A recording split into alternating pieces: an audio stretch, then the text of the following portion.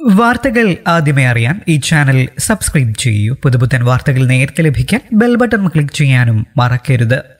ഭർത്തൃ വീട്ടിൽ യുവതി ആത്മഹത്യ ചെയ്ത സംഭവത്തിൽ ഭർത്താവിനും കുടുംബത്തിനും നേരെ ആരോപണമായി യുവതിയുടെ കുടുംബം. പള്ളിക്കൽ ഇളംപള്ളിയിൽ വൈഷ്ണവത്തിൽ ലക്ഷ്മിപ്പിള്ളയാണ് ഭർത്തൃ വീട്ടിൽ ആത്മഹത്യ ചെയ്ത നിലയിൽ കണ്ടെത്തിയത്. ഭർത്താവ് ചടയമംഗലം സ്വദേശി കിഷോറിന്റെയും അമ്മയുടെയും ബന്ധുക്കളുടെയും മാനസിക പീഡനമാണ് മരണത്തിന് കാരണമെന്ന് ലക്ഷ്മിപ്പിള്ളയുടെ അമ്മ രമാദേവി ആരോപിച്ചു. ലക്ഷ്മിയുടെ സഹോദരി ആദിത്യയുടെ ബാങ്ക് അക്കൗണ്ടിലുള്ള പത്ത് ലക്ഷം രൂപ എടുത്ത് നൽകണമെന്ന് കിഷോർ ആവശ്യപ്പെട്ടിരുന്നു. ഇതേ ചൊല്ലി കിഷോർ പലതവണ മകളുമായി വഴക്കുണ്ടാക്കി. പണം നൽകാതെ വന്നപ്പോൾ മുതൽ മകളെ പല രീതിയിലും മാനസികമായി പീഡിപ്പിച്ചിരുന്നു. മരിക്കുന്നതിന് രണ്ട് ദിവസം മുൻപ് മകളുടെ ഫോൺ നമ്പർ കിഷോർ ബ്ലോക്ക് ചെയ്തിരുന്നതായും ആരോപിച്ചു. കിഷോർ വിദേശത്ത് നിന്ന് വന്ന ഇരുപതിന് പന്ത്രണ്ട് നാൽപ്പത്തി അഞ്ചിന് കിഷോർ ഫോണിൽ വിളിച്ചു. ലക്ഷ്മി കഥക് തുറക്കുന്നില്ലെന്ന് ചടയമംഗലത്ത് വീട്ടിലെത്തണമെന്നും ആവശ്യപ്പെട്ടു. രണ്ടേ മുപ്പതിന് ചടയമംഗലത്തെ വീട്ടിലെത്തി. അപ്പോൾ കൊല്ലം അഞ്ചൽ പ്രദേശങ്ങളിൽ ഒട്ടേറെ ബന്ധുക്കൾ അവിടെ ഉണ്ടായിരുന്നു. മകളെ അന്വേഷിച്ചപ്പോൾ മുകൾ നിലയിലെ മുറിയിലുണ്ടെന്നും കഥക് തുറക്കുന്നില്ലെന്നും കിഷോർ പറഞ്ഞു. മുറിയുടെ പുറത്ത് നോക്കിയപ്പോൾ മകളെ ആരൊക്കെയോ താങ്ങി കിടത്തുന്നതാണ് കണ്ടത്. രമാദേവി പറയുന്നു കഥക് തുറക്കാതെ വന്നപ്പോൾ എന്തുകൊണ്ട് തുറക്കാൻ ശ്രമിച്ചില്ല? ഇത്രയും ബന്ധുക്കൾ എങ്ങനെ അവിടെ എത്തി തുടങ്ങിയ ചോദ്യങ്ങളാണ് രമാദേവി ഉന്നയിക്കുന്നത്. മൂന്ന് വർഷം മുൻപാണ് ലക്ഷ്മി പിള്ളയുടെ അച്ഛൻ മോഹനൻ പിള്ള മരിച്ചത് ഒരു വർഷം മുൻപായിരുന്നു കിഷോറിന്റെയും ലക്ഷ്മി പിള്ളയുടെയും വിവാഹം. ലക്ഷ്മി പിള്ളയുടെ മരണം ആത്മഹത്യയാണെന്നാണ് മൃതദേഹ പരിശോധനയിലെ റിപ്പോർട്ടെന്നും ചടയമംഗലം ഇൻസ്പെക്ടർ പറഞ്ഞു. ഗാർഹിക പീഡനം ഉണ്ടായിട്ടുണ്ടോ എന്ന് പരിശോധിച്ചു വരികയാണ് അടുത്ത ദിവസം ലക്ഷ്മിയുടെ ബന്ധുക്കളുടെ മൊഴി രേഖപ്പെടുത്തുമെന്ന് പറഞ്ഞു. ലക്ഷ്മി പിള്ളയുടെ മരണത്തെപ്പറ്റി വിശദമായ അന്വേഷണം ആവശ്യപ്പെട്ട് മുഖ്യമന്ത്രിക്കും പോലീസിനും പരാതി നൽകിയതായി ലക്ഷ്മി പിള്ളയുടെ ബന്ധുക്കൾ പറഞ്ഞു.